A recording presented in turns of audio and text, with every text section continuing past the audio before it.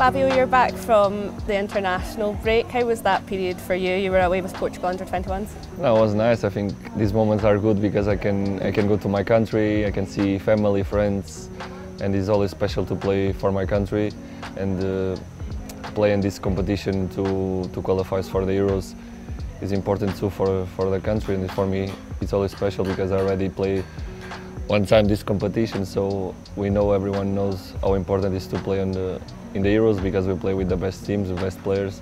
So I'm very happy to have this time because I can see family and friends.